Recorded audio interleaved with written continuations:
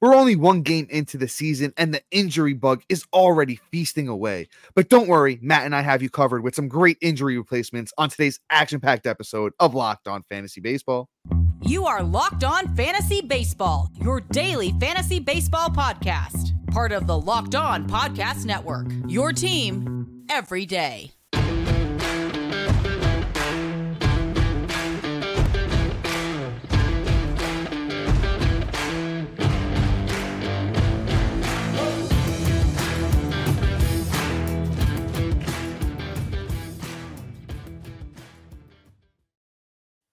Hello, fantasy baseball fanatics, and welcome to the Locked On Fantasy Baseball podcast, brought to you by the Locked On Podcast Network, your team every day. As always, we're your number one source of fantasy baseball knowledge, and thank you for making us your first listen each and every day.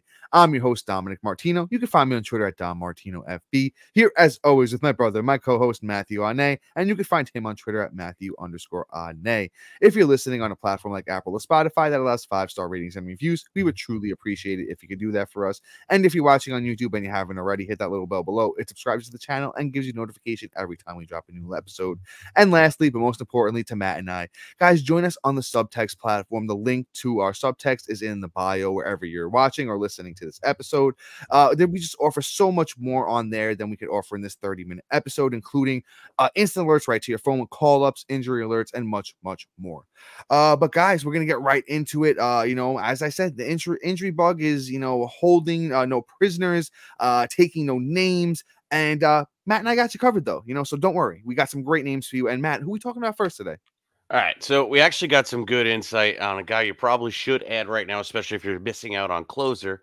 I figured this is a very important topic we need to open up with, and that's Michael Kopech. You're looking at me like I got five heads, but I completely understand you know, Kopech really hasn't been able to live up to the hype as a starter, but I think that's more of the fact that he just can't make it through a few times to the rotation with throwing as hard as he does. The guy throws gas; he can hit like a hundred and change, and it's not even a problem for him. But the problem is, is there's just not as much effect after they've seen it a couple times. You just don't swing at those really fast pitches. But the problem, what I love about Kopech now is you're only going to see him for an inning. And right now he's having the opportunity to go out and take the closing job. And I don't think I think once he gets the job, he's not going to give it back. So, and here's here's my reasoning for it. For starters, he fo- he fits all of my stat points I like out of my closer, right? The K per 9. In 129 innings, he had 134 strikeouts. He's done it where even in like 2021, right before he got hurt, he had 69 innings and he finished with 103 strikeouts in a single season. So when you're looking at a closer, especially like a higher end one, you want to see that massive, you know, innings to strikeout uh, difference. And that is one of those telltale signs. If he d- is able to just be successful in one inning, which is usually what uh, any pitcher can do of his caliber, um, he's going to be really valuable. And then he's catching saves. The only problem is he plays for the Sox. So, I mean, I get that part, but still, even if he turns around and gets you like 25 saves this year, which I think is well within the realm of possibilities, you know, it's great. And this is a first shot. I mean, look, you're down Devin Williams, you're down um Jordan Romano, you're down Duran, you're down God knows who else at this point, Paul right? Sewald. Paul Sewald, like area, like they're dropping like flies. It's actually looking like the apocalypse out there in terms of closers. So, like Michael Kopech, I feel is somebody you can get for almost free 99 too Fifteen um, percent owned on Yahoo. Right. Thank you. And that's one of the things that's like, okay, go out, scoop him up now while, you know, before he goes and gets the first save. Because the second he gets that save this today, well, tomorrow for you guys, he's going to be added everywhere. And you're just going to miss out on the opportunity to possibly have something. I just want to throw something out too. I don't throw too many advanced stats out there, but on three of his pitches, he has 25% or higher in whiff rates, right? 26% on his four seamer, 27% on his slider, and 33% on his changeup. Okay, that's very successful in the whiff rates. And now you're only going to see it once. That's going to be a game changer for Michael Kopech and his upside for the season. Yeah, Matt, great take there on Kopech. And I, I love that you pointed out the 2021 season because that season he uh Kopech threw 44 games uh you know in total. 40 of those were out of the bullpen. So he really, you know, um, excelled in that bullpen role back in 2021 and had pretty much the best year of his major league career. So I really think there is a chance that Kopech can take the role and run away with it. Uh, at 15% owned, you can't really go wrong right now if you are down a couple of closers. Uh, but let's move on to this next guy, somebody who's actually transitioning the opposite way. Uh, it's Jordan Hicks. Jordan Hicks goes over to the Giants and just has a monster, monster spring training. In his last outing was five innings, 10 strikeouts. Jordan Hicks was 40% owned on Yahoo. And he's somebody that throws super, super hard, got up there, you know, over 100 miles an hour consistently when he was coming out of the bullpen, but he's tampered it back. He's gotten to about 95, 96 on the fastball. The breaking stuff still looks pretty good with Hicks. So I really think that he can, you know, take things to the next level and be a pretty successful, you know, starter in the bigs. Not maybe a guy that's going to go, you know, six, seven innings consistently. So in those quality starts leagues, you might want to, you know, uh, not really go crazy for Hicks but I, I, really like him. You know, he's still fairly young. Uh, I think that he can be valuable right now, and especially with you know starting pitchers being super hurt with Gerrit Cole and you know uh, the Bryan Woos and the Eury Perez's and plus everybody else that is, is, down at the moment. I think Hicks is somebody that you can go out there and grab and feel pretty comfortable with him um, as one of your leader, you know, lower end starting pitchers. Yeah, I like Jordan Hicks a lot. I like the idea of where he's going to pitch, and uh, I like the fact that he brought down that velocity. So, you know, great take, Dom. Uh, I stand behind it. And honestly, I wouldn't say he's a must add, but he's definitely somebody that could possibly turn around and be valuable. Um, usually through these first two weeks, usually see a pitcher break out and then have value long term from either three quarters of the season or the whole season and just really just thrust himself to the top. So eh, there's a chance that Jordan Hicks's transition could be one make him fall into that category. But let's move on to another guy that I really like, and that's Chase Silseth. Um, Chase, honestly, um, is is looking like he might be able to go go ahead and possibly be somewhat valuable for fantasy baseball. He's not going to be really, you know, blow you away in the wins category, but who cares at this point? He's free 99 and he's he looks great. I mean, this spring alone, 13 innings pitched. He has 15 strikeouts. He has a 203 ERA with a with a 0.675 whip. That's fantastic. Uh, gave up two home runs, which is one thing that's kind of a little scary within the 15 innings pitch, but at the same time, it is what it is because, you know, in his short periods of, you know, career, he doesn't really give up that many home runs in like at least 2023. 22, he did give up a lot for his ratio, but it is what it is. He was able to bring that down in 23 from 28 innings to 52 innings of seven to nine. And I'm okay with that. And on top of that, he's very successful with his sweeper and his sweeper looks great. And it's something that's really, you know, been successful at 33% whiff rate as well. I love it. Chase Sil- Silseth looks like he's going to be somebody that we might be considering also for at least a couple weeks. Yeah, I really like Chase Silseth. He's 6% owned on Yahoo. I picked him up in a couple of leagues. He had his ups and downs last year in the bigs, but you know what? As um, you know, 22 year old, uh, I'll take it. Um, I mean, as a 23 year old uh, last year, I'll, I'll, I'll take it. You know, um, through 52 innings. You know, the three three nine six ERA, 52 innings, 56 strikeouts.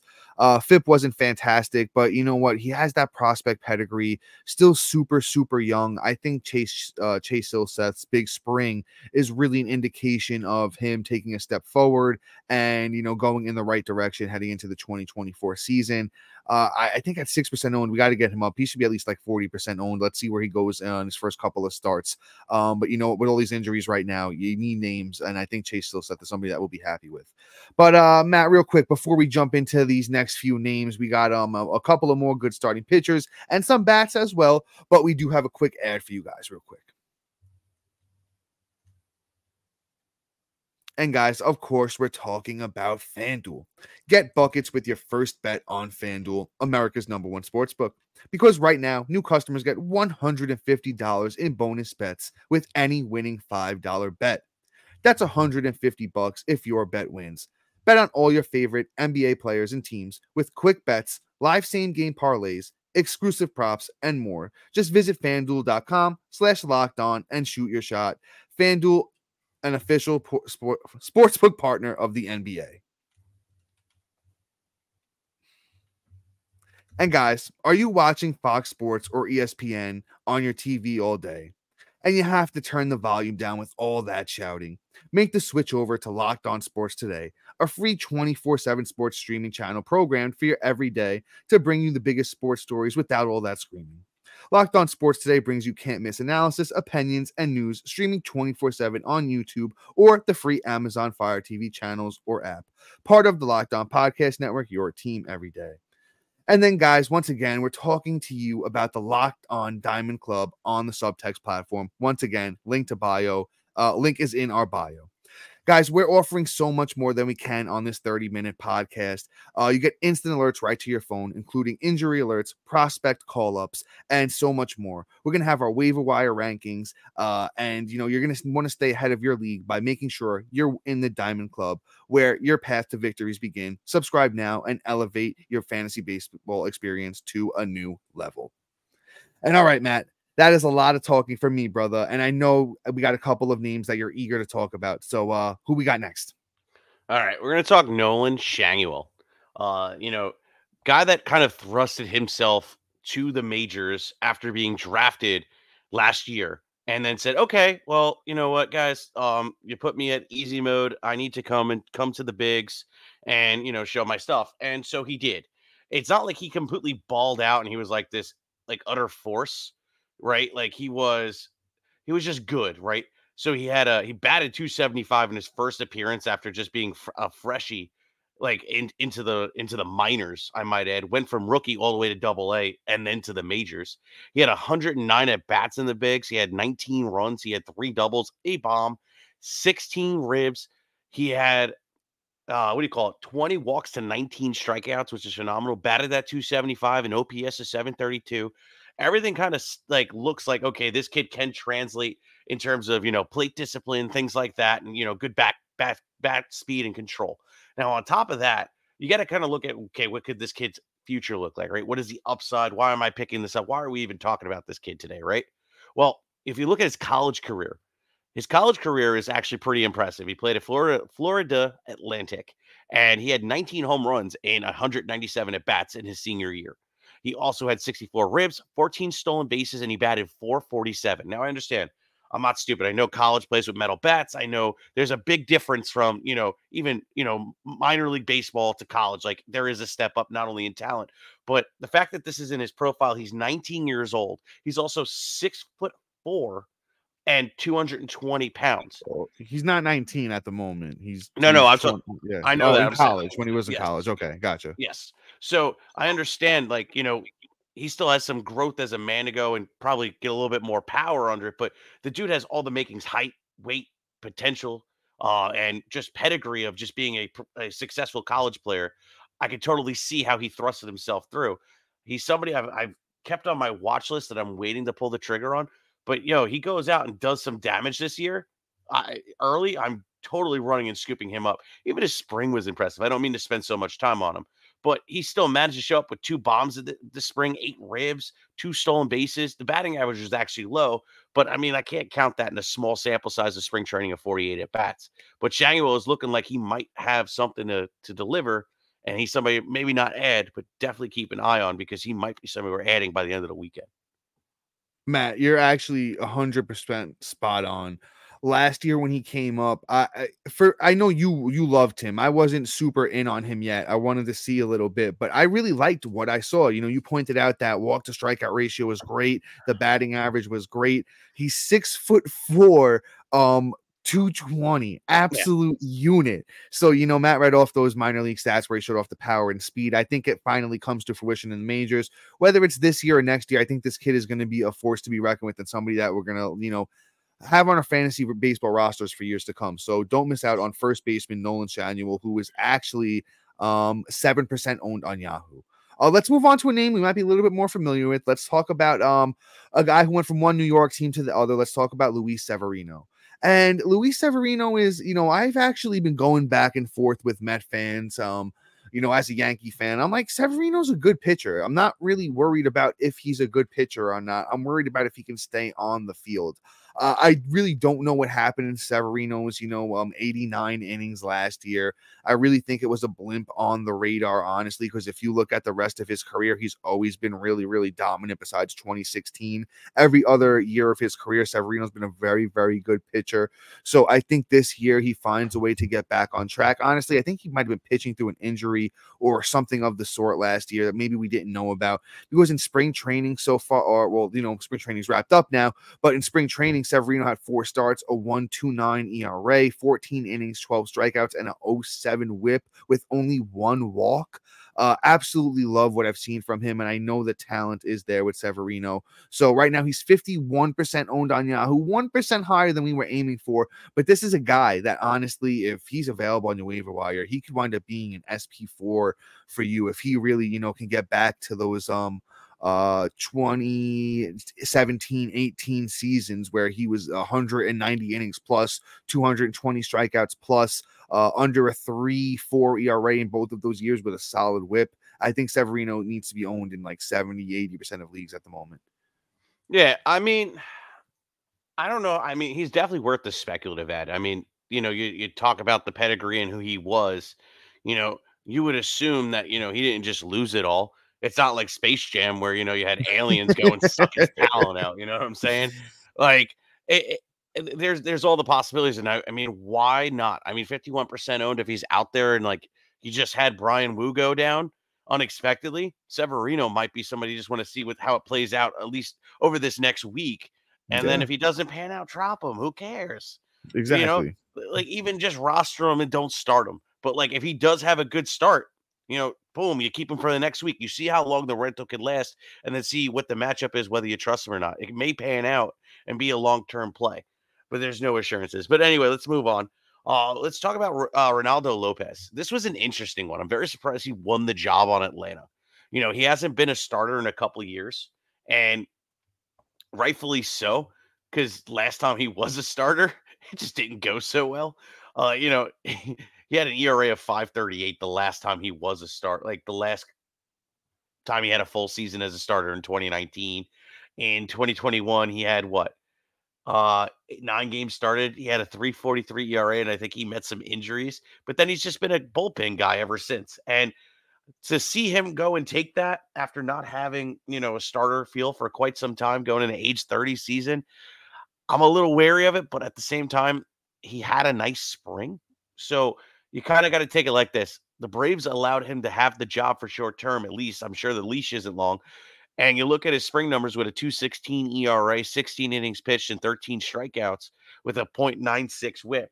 You got to say, okay, there is something there. It's just how long is this going to last? Or, you know, is this just, you know, the fact that he didn't get to pitch five innings straight, six innings straight? Are they even going to let him go five innings straight? That's the other thing. Is he going to be able to go and get um, the QS for everybody if you play in a league that requires QS or even for points. You know, there's there's a couple different factors with Reynaldo Lopez, but at least I'm doing a speculative ad, especially when all these injuries just popped up right before the season started. So if I'm hedging bets, it's going to be interesting to see how he plans out. But he might be the guy I'm going to, you know, scratch a lottery ticket on, you know, and see how I make out over the weekend. Yeah, uh, Reynaldo Lopez is probably like at the bottom of yeah. you know the barrel when it comes to the names we're talking about today but the team makes it interesting. The team context makes it interesting. Atlanta you can't really go wrong with this a guy that's in atlanta starting you know pitcher rotation. What scares me the most about reynaldo lopez is he's a two pitch pitcher and you know he's not spencer strider so i don't know if he's going to be able to get away with it you know moving back into the rotation. That was really his downfall you know back in the day as you know matt was talking you know 2018 19 when he was you know in the rotation didn't even put up great numbers back then, and much has not changed since then.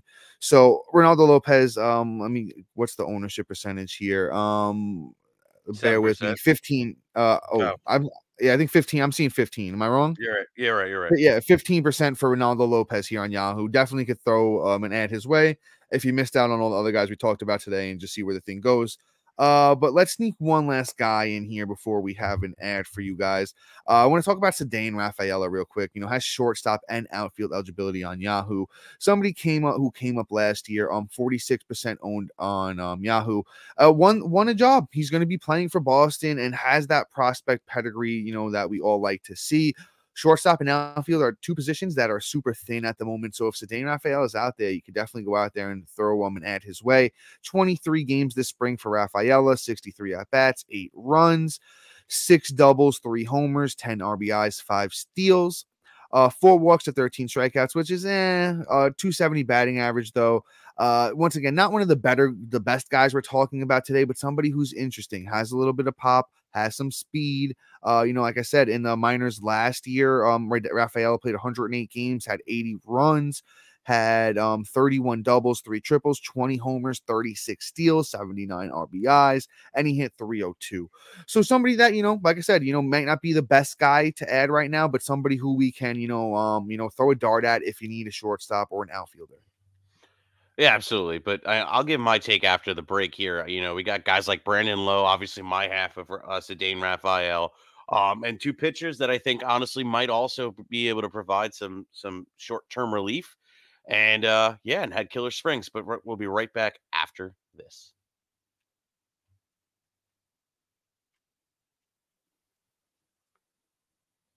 All right. So Ceddanne Rafaela, love it. Um, I like the upside. I like who he could be. Um, I don't really need to say much actually, so I don't know why I hop back in on it. But yeah, you know, you kind of did a flawless do- job. You know, flawless victory over here. Thank you, appreciate it, brother. I'm gonna I'm gonna move on here. Actually, uh, let's talk Brandon Lowe. Brandon Lowe. Um, the name is kind of gives me cringes because he screams phalanges. Um, you know, sorry, phalanges. I understand what it actually is, but it's my term for injury prone because it's funnier. Um, my guy is just loves to get hurt and loves to go through stints of like just really bad batting average, but still is able to provide, you know, you know, runs, ribbies, and home runs. So like last year he opened up like a bat out of hell and started off April with seven home runs. You know, got hurt pretty much instantly in May and June, and then was able to come back at the end of June. July provided five home runs, batted 284 cooled off and had three home runs, and then September had four home runs, a 246. Through that time, though, he's also had 18 ribs, 11 ribs, 13 ribs, 12 ribs, 14 ribs. This is each month down the down the line. So he was still able to contribute throughout. So even with his bad performances, it was just literally destroying your batting average. And also, too, he's not your prototypical second baseman where like if you're lacking in power, you can slide him in and get that power boost, especially if you have guys like Bobby Witt or Ronald Acuna and you want to fit a, a power guy in, this would be the perfect slot to do it. And Brandon Lowe would be the perfect guy to do it with.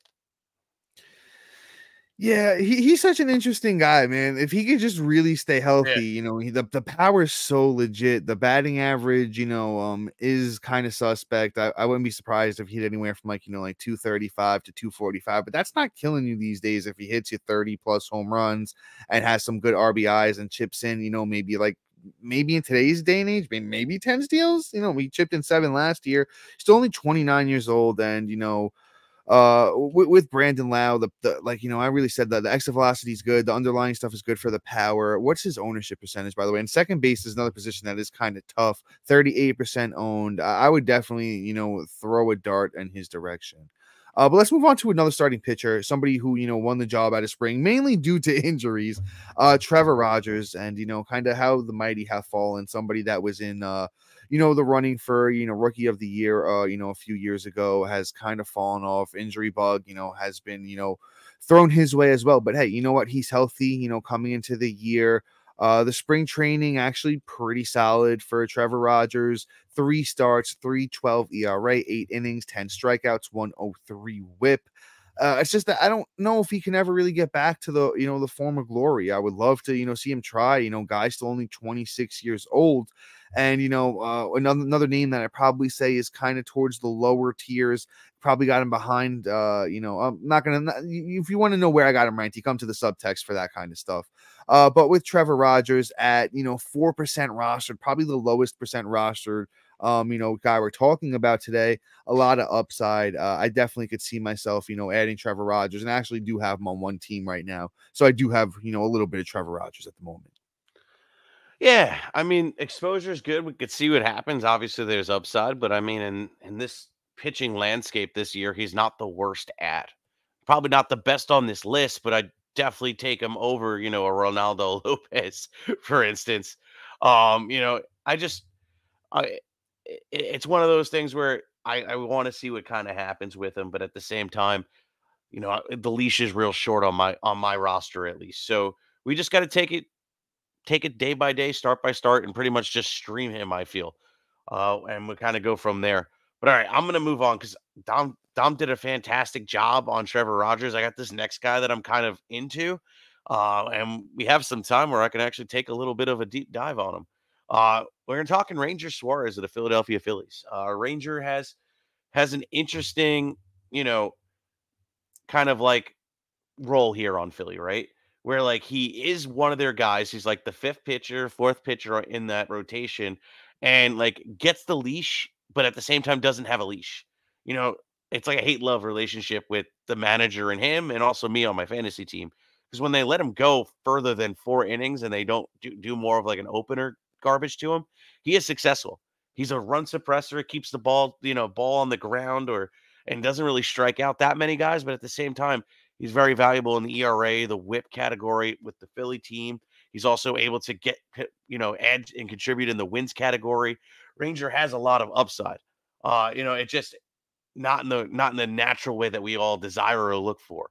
You know, he's a he's he's uh how do I put this? A guy that that's out there just to literally keep your ERA and whip down without contributing too much in there. But if he chips in, I don't know, four strikeouts and gets gives up like a one ERA, I'm not really mad at it on the week. But the weeks he gets blown up, he can hurt you in those short stints. So it's just a risky play. But right now, I'm saying Adam because I mean, being down Woo, being down Eury, and all the other guys, it's just it's really hard out there for for pitching. And I don't the pitching influx isn't even going to be that great because we're still not seeing you know Verlanders and all the other guys that went down.